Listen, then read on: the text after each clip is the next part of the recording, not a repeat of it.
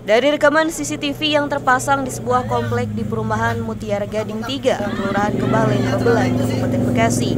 Aksi pencurian sepeda motor oleh wanita sambil membawa anaknya terekam kamera pengawas. Korban yang saat itu sedang membeli ikan memarkirkan kendaraannya tepat di depan toko.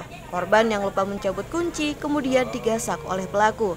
Ironisnya eksekusi pencurian motor dilakukan oleh tersangka sambil membawa anaknya dengan membawa sepeda.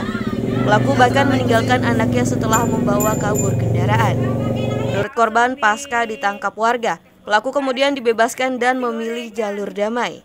Selain motor dianggap telah kembali, korban mengaku kasihan lantaran tersangka masih memiliki bayi berusia tiga bulan. Ya, saya karena nggak nggak tegang lihat anak bayinya Hmm. Jadi, dia Jadi- punya jadi dia punya bayi, Bang. punya. Hmm. Jadinya ya kekeluargaan aja. Kekeluargaan.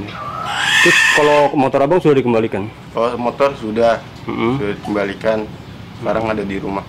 Kalau kondisi motor Abang pada saat eh, ditemukan bagaimana? Ya kayak plat nggak Mhm. ada, Mhm. spion nggak ada, das bawah pun nggak ada.